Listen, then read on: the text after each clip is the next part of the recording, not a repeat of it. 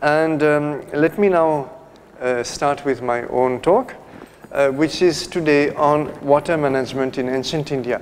Last week, for those who were there, we saw ecological traditions in ancient India, and we saw the importance that ancient India gave to nature, to its preservation uh, through various ways, and also the whole philosophy of uh, approaching nature as, as uh, something sacred, as sacred as the whole creation, in fact. So I kept water management and water structures apart because it is a very important topic that deserves special study. So therefore, I will treat it in a somewhat summarized form today. Uh, why is water management so crucial uh, in ancient India? I'm always using the word ancient in a somewhat elastic meaning. Um, it is because obviously we are not having a temperate climate in India. Uh, if you go to a country like France or England or, or perhaps Italy, uh, countries with temperate climates, they do not need to do much by way of water management and water structures. Of course, they have uh, uh, imposing water structures, but they are counting on rainfall being more or less round the year, which is what happens in practice. Um, so, though, though, of course the climate has been uh, uh, changing, so uh, recently uh, Europe has experienced long droughts, sometimes stretching over two, three years of uh, very lean uh, rainfall.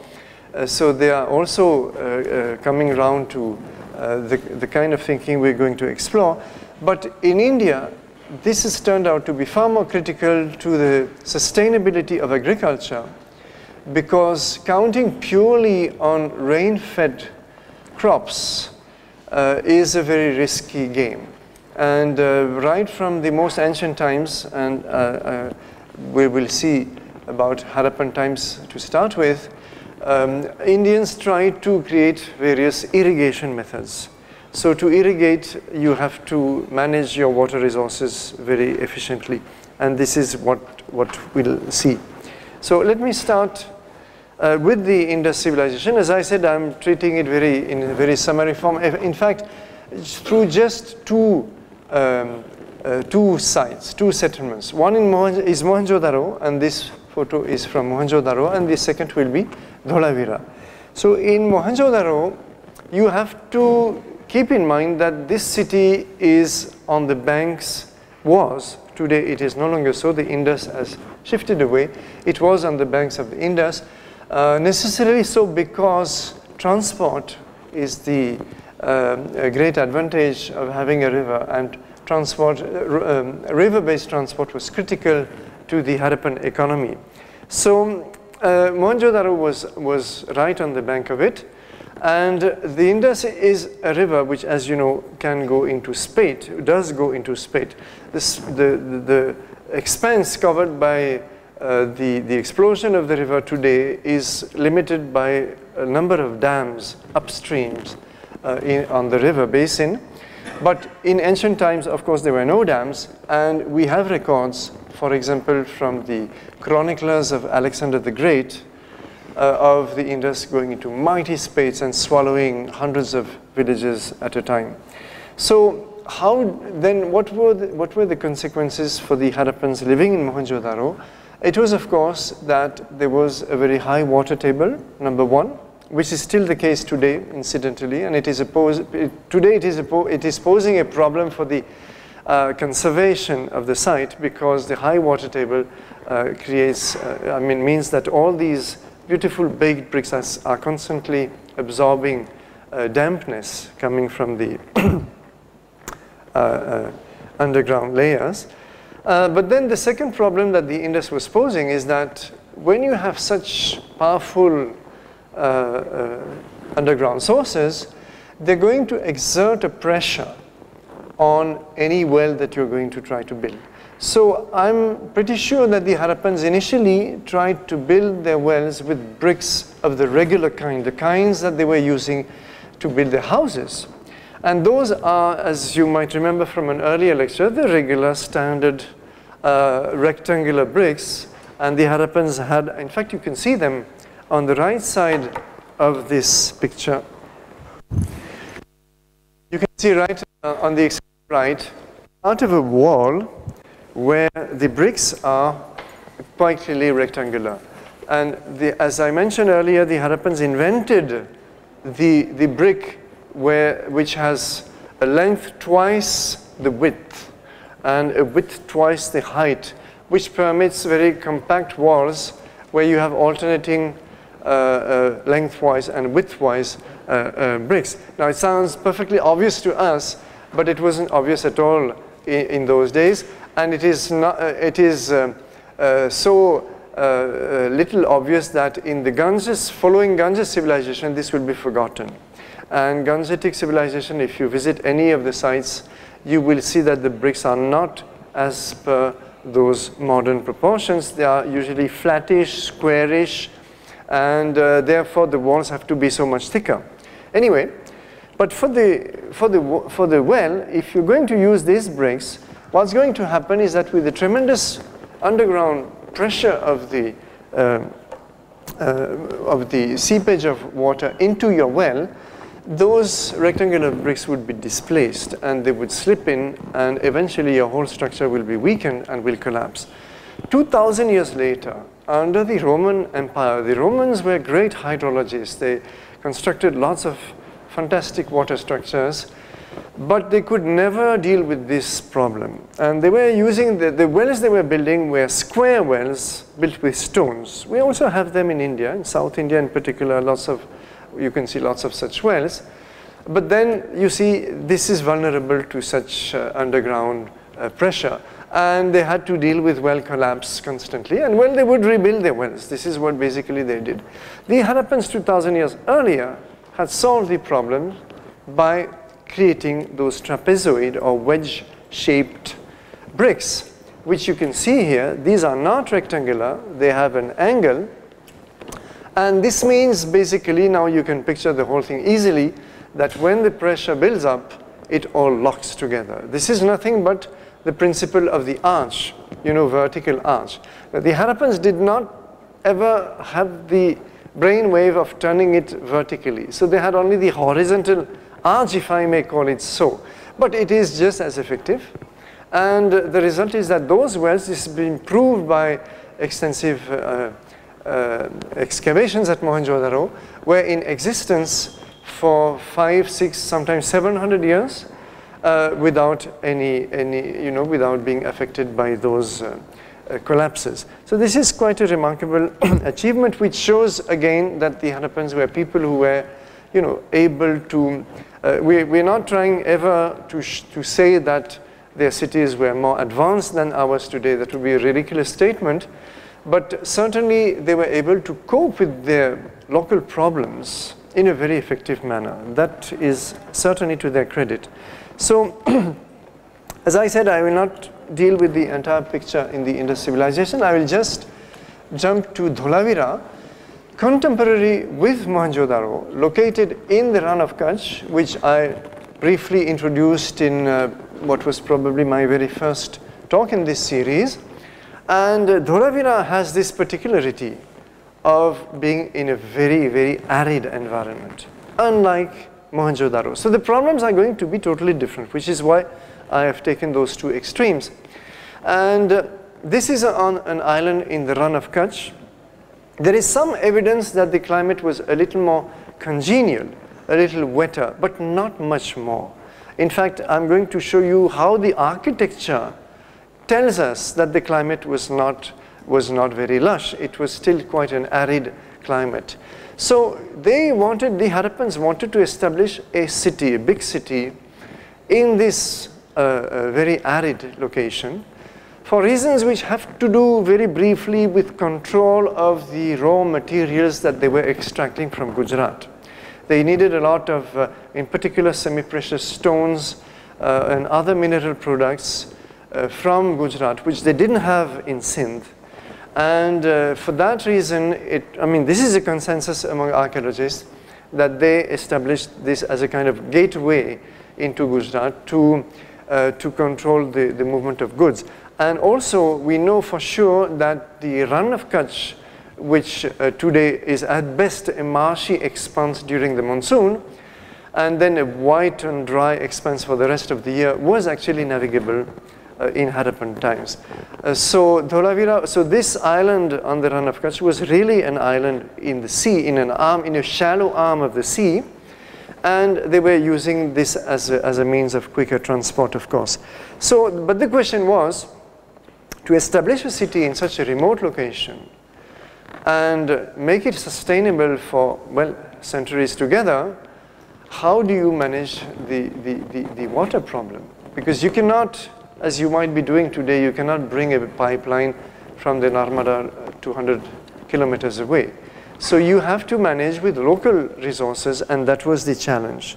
So this is a plan of Dholavira, where uh, I remind you, you have the upper city here in blue, divided into two zones. This is the heavily fortified area of the so-called castle. Uh, a little lower, you have the middle town in pink with the huge ceremonial ground, and then the lower town uh, uh, in, in yellow. And um, uh, in fact, uh, uh, this, this is where most of the uh, houses, inhabitants lived, you, and with a little extension in this area of the lower town. But we can see that this location was very intelligently selected by the Harappan civil engineers, if I may use that term, but I think they would deserve it, because it is bracketed by two streams, two nallas, small streams, uh, which you can see them today, they are 10, 15 meters wide, and today you will hardly ever see a drop of water unless perhaps you visit during the brief monsoon. Rann of Kutch today has a very brief monsoon. So the question was how to make use of that water which flows during the periods where there is rainfall. And what they did was that they dammed those um, streams. Several relics of dams, I'm going to show you one, have been found. They dammed those streams and they forced the waters to flow into the city, into the fortified area. And all this sector in particular, if you can follow my red dot, all this sector was kept entirely for water harvesting. Plus a number of reservoirs I'm going to show you in addition. But this is, this is the way they found that they, they, they obliged the water to flow into the city. Whether they were ab able to uh, you know, uh, quickly build up a structure to close the water after the rains, uh, we don't know. They, we, we, we lack the full evidence of the system. But they covered something like 12 hectares out of 48 hectares, 12 hectares, perhaps the, the, the proportion is not very sure. It is anything between 15 and 20, 25% of the area, which was earmarked entirely for water harvesting, water storage.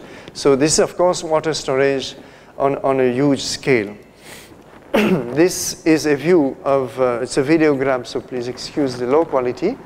But this is a, a view of the existing Nala um, uh, on one of the two the existing uh, stream which bracket the city. This is on the southern side.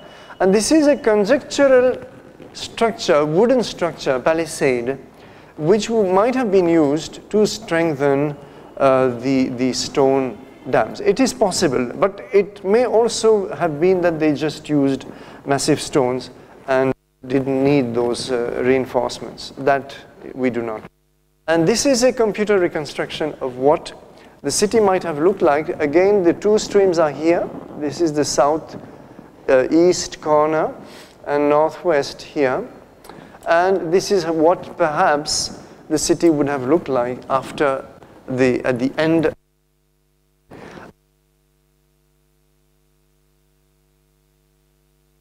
minutes.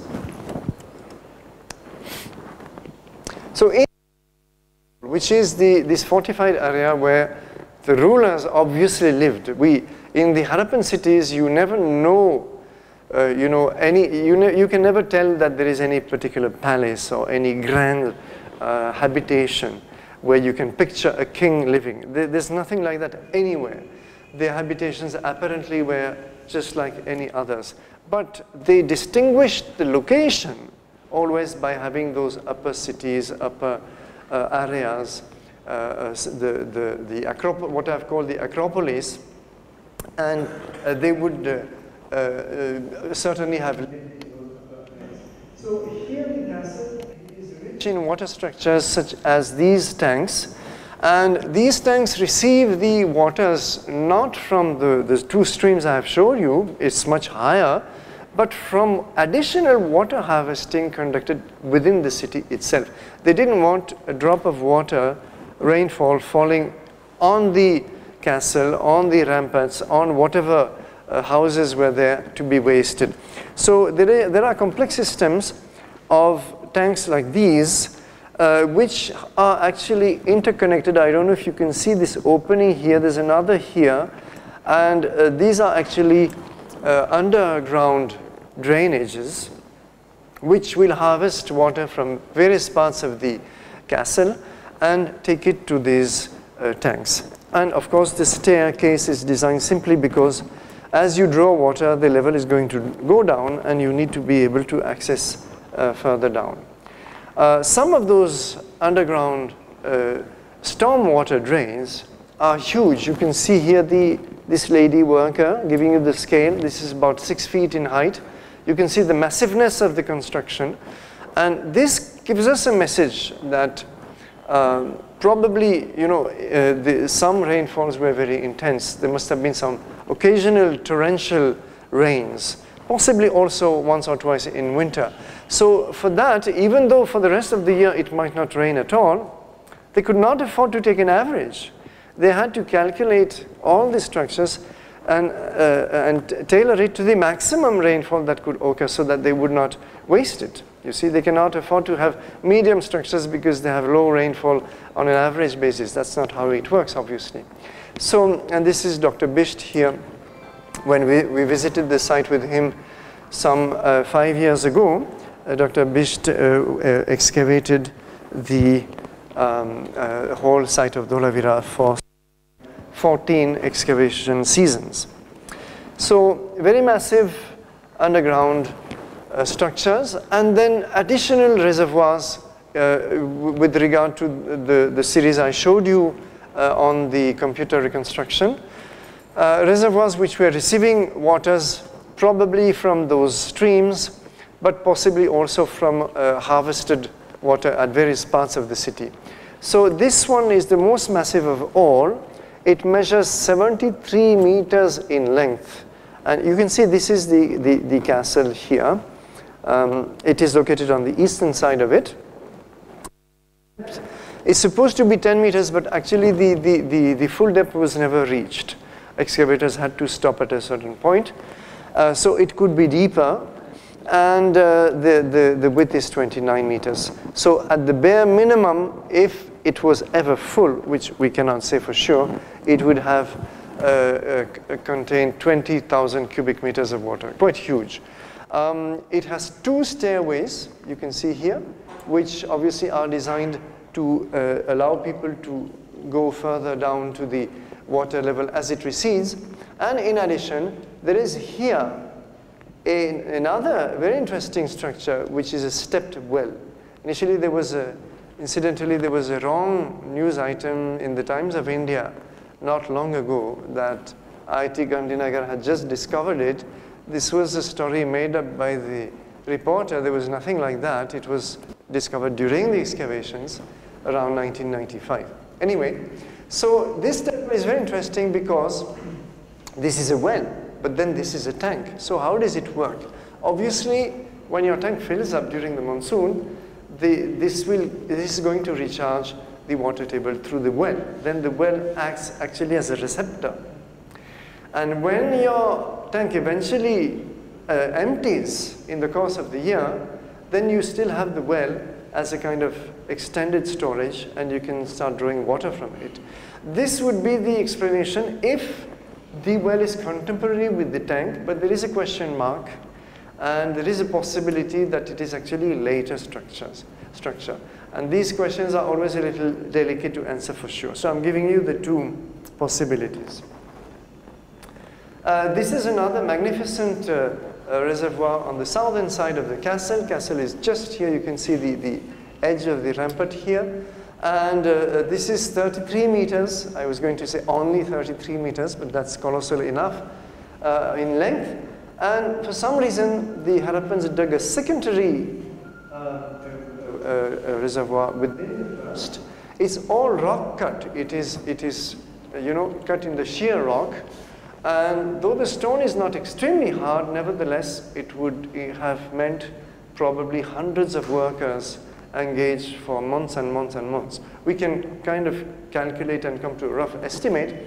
So this means obviously control over huge manpower. And there's an economic factor here that is only a pro certain prosperous uh, society that can afford to construct such structures.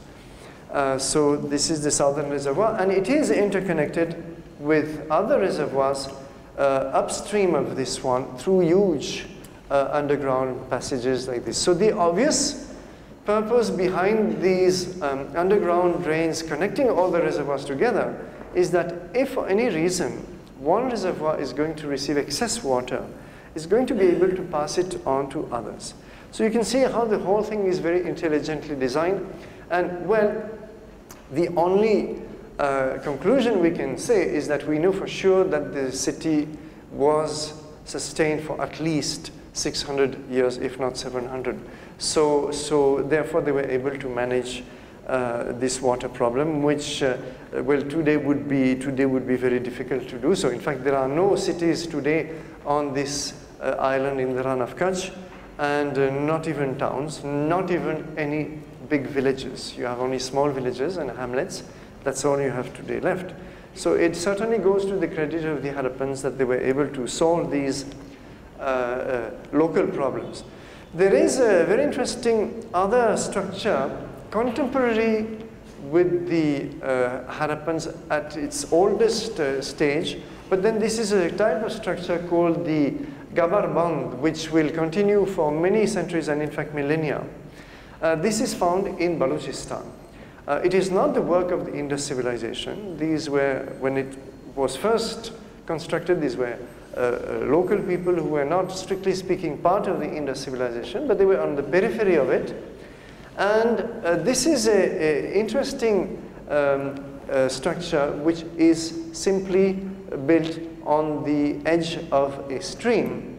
And the idea is to have a, to construct actually an artificial field, more or less horizontal, and therefore you need, if you're going to have a slope, you need to, to, to structure it uh, vertically, but then it will have a input here which will allow the stream water to flow in in a, in a gentle way, not, not with too much speed.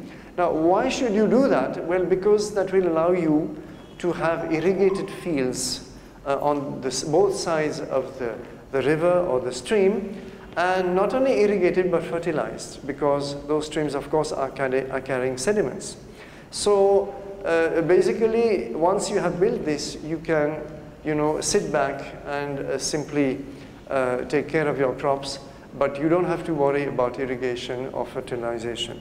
So this is a very efficient, of course small scale uh, water management system but um, uh, as an irrigation device it's quite interesting and possibly it could be repeated uh, if we thought along such terms. There, there is some potential here uh, to draw inspiration from it. I jump now into the historical time. Hmm, so we are now into the Ganges civilization uh, uh about 2,000 years after the Harappans. And we see that there is a great concern, even though Ganges is a very the Ganges Valley is flush with water, uh, especially if you imagine 2,000 years ago, what, what 2,500 years, uh, it would have been very rich with water, not only the Ganges, but all the tributaries. And nevertheless, there's a great concentration on saving water, not wasting it, using it intelligently, and creating a whole variety of water structures and water devices for irrigation in particular. So this is best exemplified in the Arthashastra, which possibly dates to the 4th century BC, when there are some disputes as always about the exact date, doesn't matter. Uh, it is contemporary with the Mauryan Empire, at least, we know that for sure. And uh, uh, there are mentions of water divining. I'll come back to water divining a little later. Uh, water lifting devices. So this is something that we don't know whether the Harappans had any water lifting devices, except perhaps the very crude, simple, uh, you know, device of having a pouch of leather pulled by a pair of bullocks out of a well, which uh, probably all ancient cultures had. But uh, here there are some slightly more sophisticated uh, structures being described and irrigation techniques. Now the very interesting thing is that farmers had to pay for water. Water was not regarded as something that was supposed to be free. You know, today in India, water is free. You can dig a bore well in your garden and pump out as much as you like and nobody can object. There's no law to regulate uh, water use.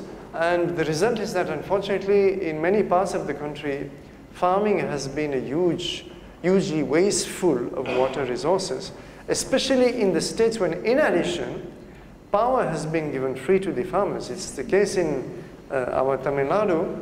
Uh, I'm sure there are other states in India and you know, when you have free water, free electricity, so what is it that restricts you from wasting it?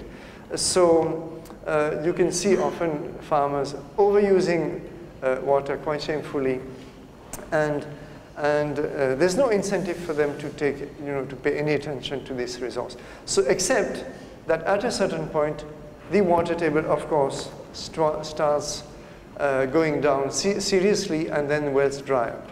But even then, it doesn't, my observation in Tamil Nadu is that even wells drying up doesn't even, uh, you know, um, uh, make people think and, you know, uh, uh, encourage them to be more careful about water use. Somehow that's not what works. So uh, perhaps this is something that people in Kautilya's time had realized and farmers had to pay a certain amount of tax uh, in kind, that is to say a percentage of the crop, which could be very high if, uh, uh, I think it was up to one third of the harvest, if the water structures they were using had been constructed by the state. When the water structures had been supplied by themselves or by the local communities, then the tax amount was much lower. So Kautilya goes extensively through all this and um, you can see some of the actual quotations here. And uh, so this means that there was a great amount of thinking and planning at the state level. Tanks were built for common use by pooling resources from local inhabitants. That is to say, even if the state ordered, wanted, if the king, for example, wanted a tank to be built, he didn't send workers from outside. He would simply uh, uh, uh, ask the local communities to do it.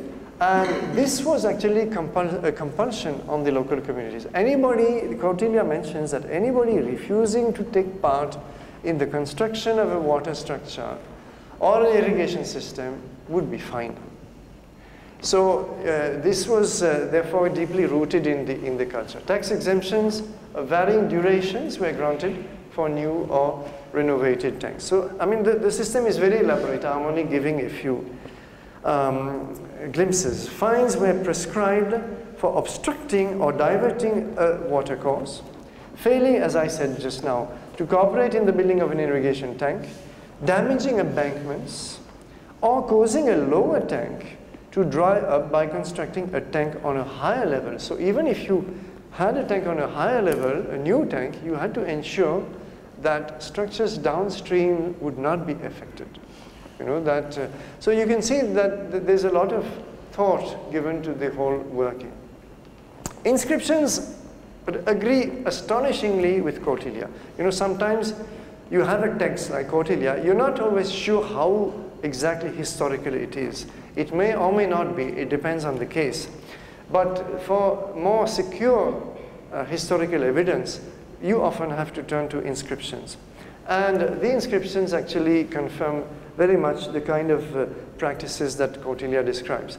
So lots of different types of tanks, uh, ponds, uh, descriptions of their maintenance. Very often, a king or a queen uh, proudly says that you know it has granted this tank or built this tank for this village and so on. Um, the question of desilting comes in, in, the inscription. That is to say, you, you're aware that these structures do require maintenance, repair of embankments, especially after monsoons, sluices, uh, how to you know, block the, the outflow of a tank or the inflow as the case may be, irrigation channels to take these waters uh, away to the fields that need them, um, irrigation with well water because thanks to water lifting uh, devices. Then some inscriptions mention that water diviners have to pay taxes. You know, they, uh, they, they, they, were giving a service to the community, but they were also paid. Uh, they were earning their livelihood very well for divining wells, and uh, therefore they had to pay taxes. It was not a tax-free job as it is today. Uh, if I may take an inscription from a village very close to where we live, near on the outskirts of Coimbatore, Perur, uh, there is a king, a Chola king, who issues orders regarding water management on a, the, what used to be a perennial river flowing south of Coimbatore. Now it's not perennial anymore, it is seasonal. And uh, uh, there is a new dam being built, and the king orders that it must not affect an older one, which should be allowed to fill first. This is a direct echo of what we saw by, by. It's very interesting. And this is from the 13th century. Uh, the new dam was designed to store water in times of excess, so as a supplementary device, but it should not affect the existing devices. Um, I, I, take this uh, very interesting inscription also from Andhra Pradesh, uh, 16th century, which simply is to, to show the importance given to uh, you know, building tanks and tanks and tanks. So it says even gods, men, ancestors, celestial beings, reptiles, immovables. Immovables means trees, plants, what doesn't move. Demons and spirits depend on the water of the reservoirs and the water impounded in such works will quench the thirst of the animals, birds, human beings and others. As a result, those who construct such reservoirs will earn the punya of performing the Ashwamedha sacrifice. Ashwamedha was regarded as, you know, the, the sacrifice that would bring uh, uh, the, the highest uh, degree of punya. So if you take care of tanks and reservoirs, it's as good. And so it is actually last year, week, I think I had shown a similar uh, statement made in, um, I think, Shiva Purana. So uh, there is, so this is uh, uh, quite established in the popular culture, therefore. Now let us look at a few actual structures. Uh, one is actually, I'm selecting it because it's very close to uh, Kanpur. It's about, I think, 150 kilometers from here, close to Allahabad, in fact.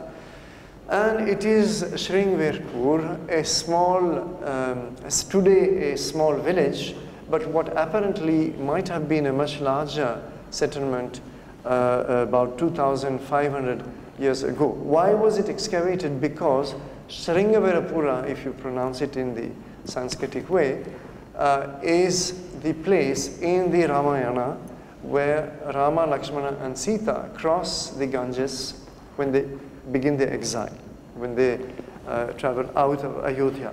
So you, you might remember the whole story uh, of the crossing of the Ganges. I'm not going to tell it. But in any case, it was ex uh, excavated by Professor B.B. Lal in uh, the 1970s uh, uh, as part of a project of excavating sites associated with the Ramayana to identify what structures actually existed there. Now, whatever this may be, the point is that uh, a whole series of huge tanks and reservoirs was found, interconnected. that's interesting because uh, we saw interconnected tanks at Dholavira. So whether there's a continuity there or not, we cannot say for sure. You have the Ganges here, but uh, after a discussion with Professor Kumudi Patil, I learned that Ganges was actually one and a half kilometers away at the time when the tanks were built, so it, it makes more sense. Uh, there must have been a canal like this one bringing in water from the Ganges, especially when the Ganges would go into spate. which again in those, in, in that period must have been, you know, very massive spate, uh, flooding possibly a few kilometers on, on both sides. And what you find here is that you have one, two, three, four tanks with carefully adjusted inflow and overflow levels. Uh, for example, here the first tank, the outflow is at a higher level than the inflow. Why should it be so? Because then it will cause the water to slow down. And only when it reaches a certain level, it will flow, overflow into the second tank. So when water flows, its sediments, what it carries, tends to drop. So it's a settling pond basically. And this must have been to you know, give initial purification of, of the water. And then it goes on, and there are wells also at the bottom of some of the tanks. And uh, the last overflow level is so adjusted that if, this, uh, uh, if the whole system is full, the excess water will flow back into the Ganges. So in other words, no wastage. And uh, this, of course, will be due, thanks only due to the pressure of the, of the, of the flow into the canal and uh, the Ganges itself. And uh, a very intelligent system, which I think we could still very well learn from today, but such systems are not uh, being used, to my knowledge, anywhere in India. And this must have supplied water to, to the local settlement, especially if the Ganges was one and a half kilometers away for centuries together. This is a completely different water structure. Uh, this is the Grand Anicut on the Kaveri water downstream of the Srirangam uh, island in Tamil Nadu, where this huge structure, which uh, uh um, uh, looks new, was, is actually 1,800 years old or so. Not the upper part of it, this is recently renovated, but the lower part and the foundations. It is supposed to have been built by the Tamil king uh, Karikala, and, um, and this uh, Karikala Chola, and the, the structure is about 320 meters long, what you saw on, in the previous photo. Now, what's very interesting here is that it's often called a dam, but it is not a dam at all. It doesn't stop the flow of the Kaveri, doesn't impound the waters. Rather, it is here to keep those two streams of the Kaveri apart, and so that they don't mix together. Otherwise, what would be happening is that this stream is actually faster, the slope is higher. And if there is no structure here, this, this is going to be completely captured into it, which probably was the case originally of the river. And with this so-called dam, the stream is now kept apart and it can go and irrigate uh, thousands, tens of thousands actually of acres uh, further downstream. So this must have been a structure built precisely for the development of agriculture in this whole region, which will form part of the delta of the Kaveri. Uh, this has been uh, studied by uh, some uh, researchers uh, from IIT Delhi, but the, it is only a preliminary study. In fact, the, whole, the whole structure is not still fully understood, and in particular, uh, the British who tried right from 1777 to document and understand and restore the structure through complex systems of, of sluices and gates, they could never really grasp the whole purpose of it. So, and in particular, its S shape uh, has given rise to interesting speculations, which I won't go into. You will have to read those papers if you wish but um, uh, we've not really fully understood it. So it's interesting to see how uh, uh, advanced those ancient structures were at times. This is from Burhanpur in Madhya Pradesh, and we are now in the Mughal time, where uh, the Mughals were also very good at uh, building very complex and integrated water management systems. Uh, integrated here because the nearby hills are used uh, to capture a lot of groundwater. So hills are always wonderful natural water harvesting systems to capture the groundwater.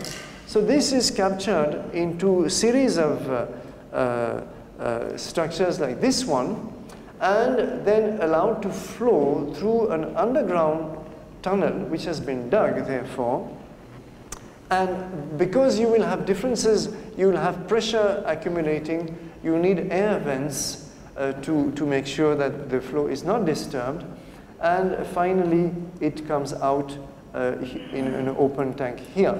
So uh, this is uh, the, the, system in brief, but uh, in addition the air shafts can also be used as to, to draw water directly from them if you wish.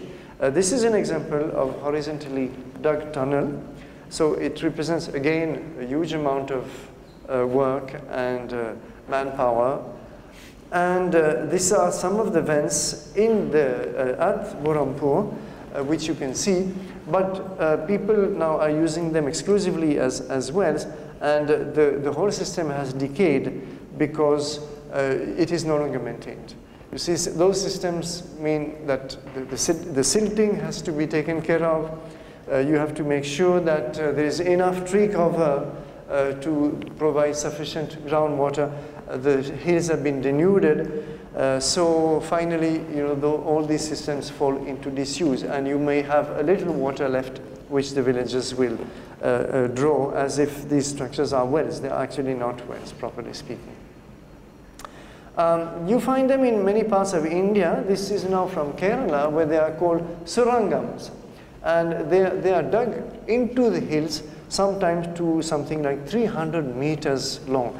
And uh, there are specific communities, groups of families that take care of, this, of these works and maintain them. But again, uh, you know, families nowadays break apart and uh, some, many of these structures have fallen into disuse. So, uh, but because it, it would take normally a generation or two to, to dig such a, a structure uh, when uh, you don't have, you know, a king managing an army of workers. This now we, we shift to Rajasthan and we see a few structures there. some of them are extremely simple. This is called a khadin. It's basically a check dam where you can you take advantage of a catchment area which, with a slope and impound the water and uh, uh, this will actually uh, uh feed uh, from underground, feed a well from which you can draw. So these are very efficient small-scale water harvesting structures. Then you have the question of the uh, water harvesting in the famous Rajasthan forts. And this is from, for example, Chittor, which saw many battles, including uh, very fierce battles with the young Akbar uh, when he, uh, before he became Akbar the Great. This was the scene of a very bloody war. And uh, the, the, the thing, of course, is that besieged forts anywhere in India are vulnerable not only on account of uh, uh, lack of, I mean, uh, depletion of food reserves, but also water reserves, even more critically. So very elaborate water structures have been devised to, again, harvest every drop of rainfall, but sometimes also tap underground reserves. And uh, in fact, uh, there is a team here uh, um, of people who are researching the Kalinjar fort about 200 kilometers away, I believe, uh, which uh, also has a very elaborate water system. I believe their study is uh, more or less beginning. So let, let us hope one day we can have a fully integrated study of one of these very interesting uh, water management systems.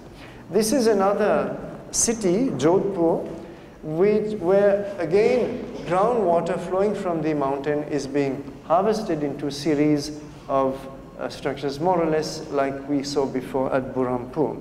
But uh, here, this you can see that when you enter the city, uh, you find these wells actually um, uh, using the seepage from the water impounded uh, uh, uphill.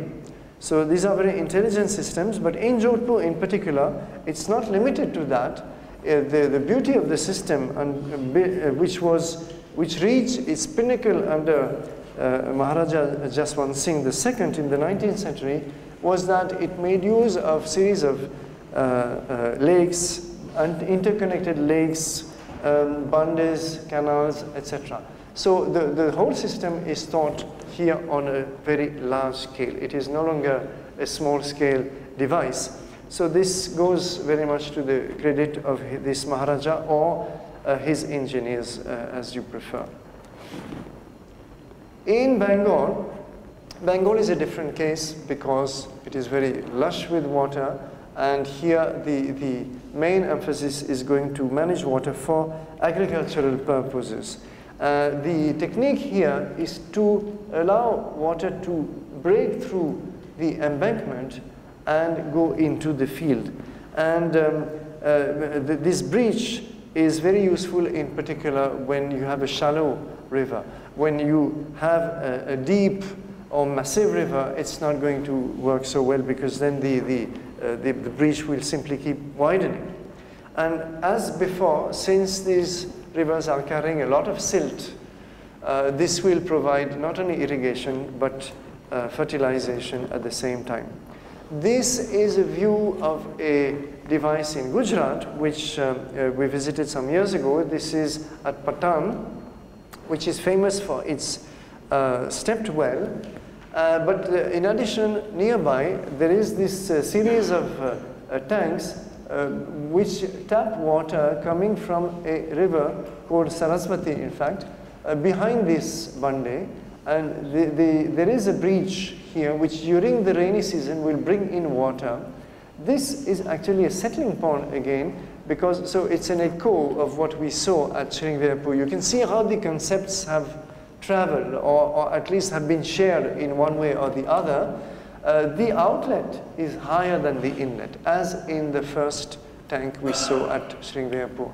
So this will, this will force the water to slow and settle uh, whatever you know, sediments and then it will flow into this canal which will take water to various uh, other canals and ultimately fields. Uh, to remember that water is regarded as a sacred resource and uh, it is, you know, we, we think these are, today we would call these secular activities, but as I made this point repeatedly in ancient India, there is no borderline between secular and uh, sacred. So you have here three shrines to Ganga, Yamuna, Saraswati, you know, the three great rivers of ancient India, uh, and, but also the three great uh, river goddesses. So uh, this is a reminder that we are in a sacred context. Uh, not far away, there is the famous Modhera temple, where you can see uh, a magnificent uh, tank, temple tank. Now these temple tanks we tend to see them as purely serving religious purposes, you know, for water-based rituals, but actually they are also water harvesting structures at the same time. They are used very much to recharge the water table. Uh, you can see now that these become works of art with these multiple uh, stairways. And um, the culmination of the step well is probably found in this one in Chand of Rajasthan, which is supposed to be the deepest in the world. Well, I cannot guarantee that this, is, this information is authentic, but anyway, it's extremely deep. Uh, you have 13 levels uh, and altogether some 3,500 steps. So um, uh, this is obviously uh, filling up at different levels in the course of the year, and um, uh, you have to be able to go down uh, and fetch it. Of course, today nobody would take this much trouble to uh, fetch water at such depth. You would use a pump set. Um, in many parts of, the, of India, this concept of temple tank has spread, and in the south, some of them become really huge, like this one in Shravanabelagola in uh, Karnataka. So once again, they are for religious activities as well as for uh, the mundane purpose of refilling the water table. Uh, this is an interesting structure. Uh, I've not spoken much of dams, but they were dams. Unfortunately, very little, little is known about them. Of course, the basic dam is the earth bundle. And that was used throughout, and we have seen some examples. But stone, uh, stone-built uh, dams were also in use, as in this Anangpur Dam near Delhi, not far from Delhi. This is in Haryana. And uh, uh, again, studied by uh, Professor Srinivas Veeravalli of IIT Delhi. And this is in the 8th century. And it actually is used to store rainwater coming from the Aravalli Hills. Uh, this must have been for the city that existed in those days. And um, uh, you see the dimensions of it, quite massive, more than 100 meters in length. And well, it has survived. It is still, it is still in good shape.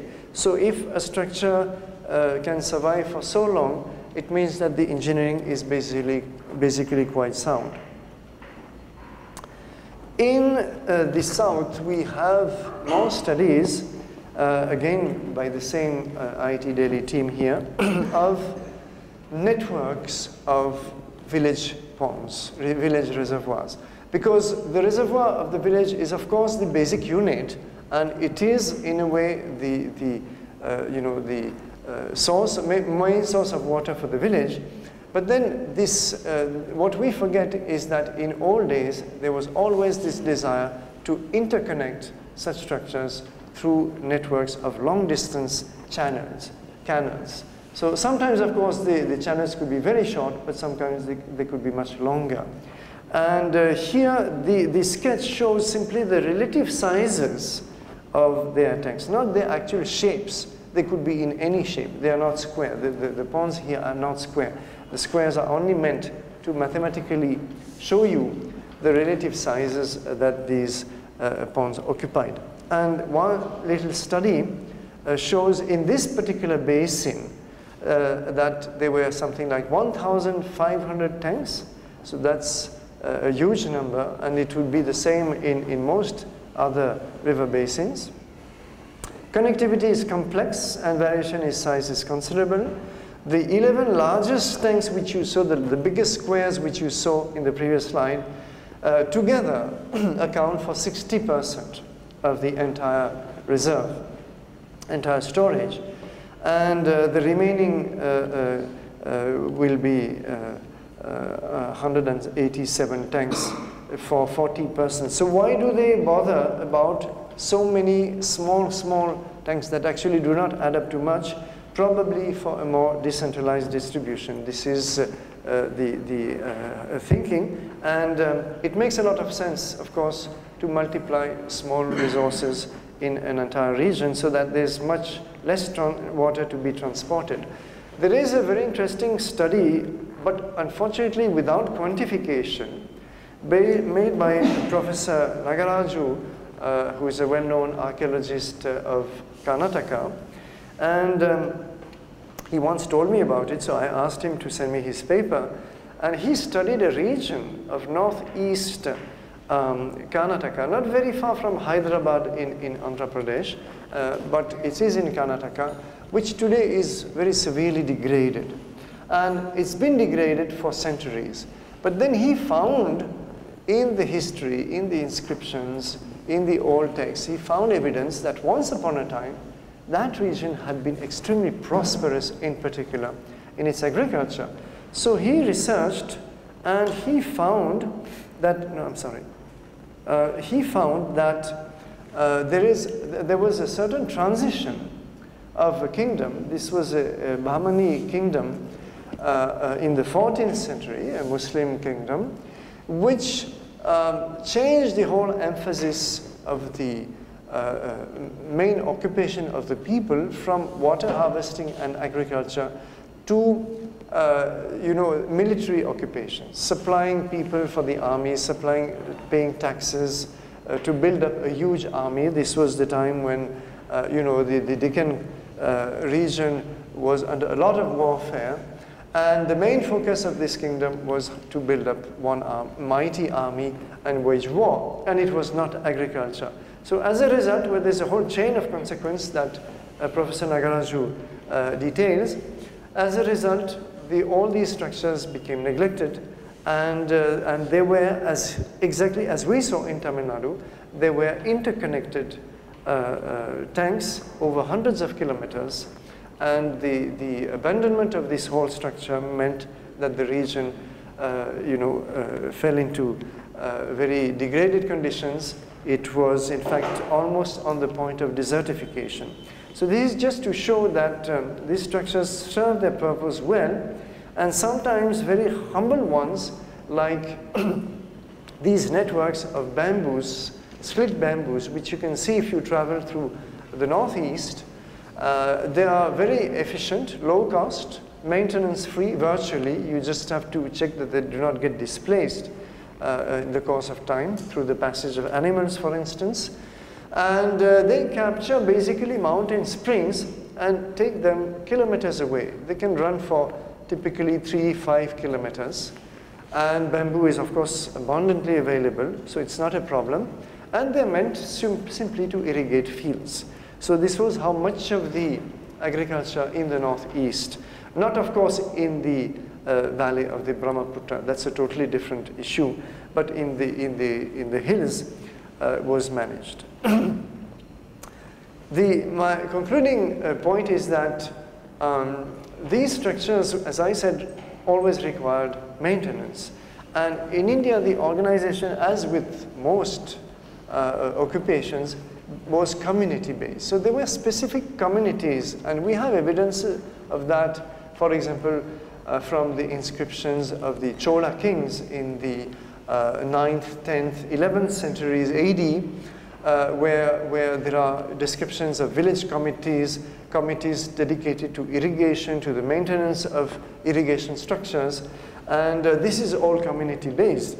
So the, the, the main problem which happened in India is that when the British took over, they did not allow these communities to continue because they wanted to be under full control of the complete administration simply for the purpose of collecting tax.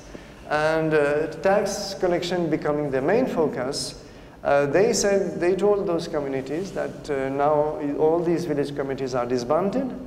We, our administration will take care of the water structures. And uh, well, it turned out that as you can easily guess, uh, no administration can actually do that. It's impossible because it has to be a totally decentralized effort. So the administration, British administration being centralized, it never worked.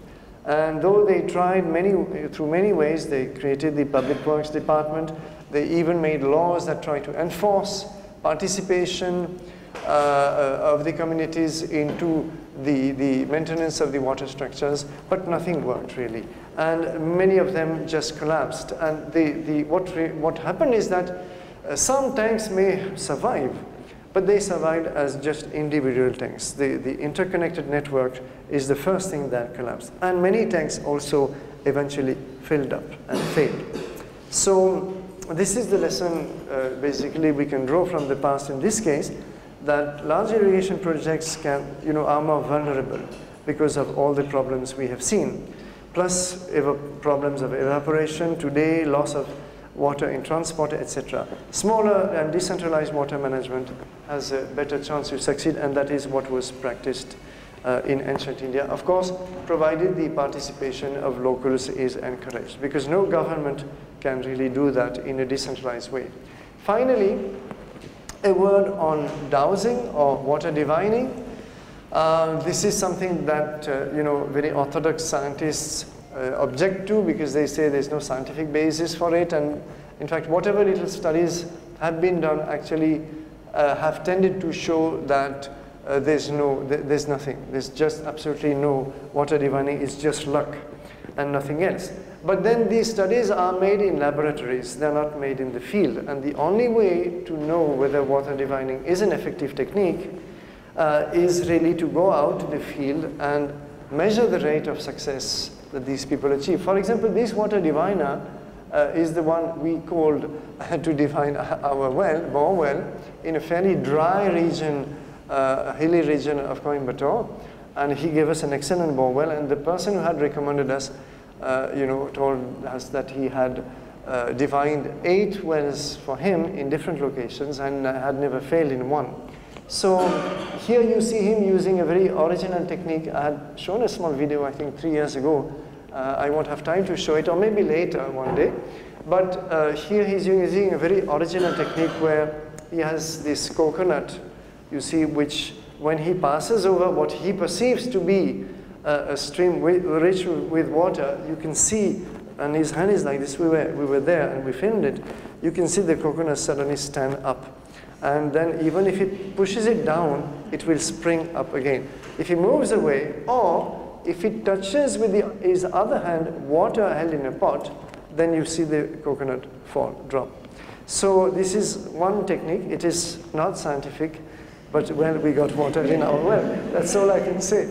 And um, there are other techniques which actually this gentleman also used, uh, which is, for example, to use a lemon uh, uh, at the end of a string, and uh, they will be giving a small impulse all the time, but then when they pass over water, what they say, where they say that there is water, you see that the, the lemon suddenly starts spinning out of control, and sometimes so fast that it tears itself, uh, splits itself into two halves and just uh, is thrown away. So anyway, there are lots of techniques with, of course, the forked, uh, uh, the forked branch. This is the classical technique which is also used in Europe even today. Uh, there are plenty, uh, it's endless. Seen, we've seen water diviners even using a, a, twin blade of grass, dry grass, just this long, and still being able to do something with it. Anyway, um, but I just want to mention that this is an ancient tradition. In India, not only Kautilya mentions it, um, uh, and uh, some inscriptions also, but Varahamihira in his Brihad Samhita dedicates an entire chapter called Dakargala. This is the word for dowsing in, in Sanskrit. And uh, there are other texts like uh, Krishi Parashara. And there the methods are basically based on identification of certain trees. Specific trees are listed, at least a dozen of them. And he says, for example, if you find uh, a jamun tree, well, you can move so many feet to the east, and uh, then you dig. And if you find uh, earth smelling like iron at a depth of five cubits, or pale white clay, etc., etc. So you have lots of clues, omens, sometimes the omens uh, ant hills in particular have a great importance in this chapter, great importance, repeatedly mentioned as being an indicator of the proximity of water. Uh, astrological considerations sometimes play a part, but these are just, you know, bits of what we call traditional knowledge systems. They have not been tested. We do not know today whether uh, uh, advice Uh, you know, is something that you can rely upon or not. But it's interesting to know that this is an ancient practice.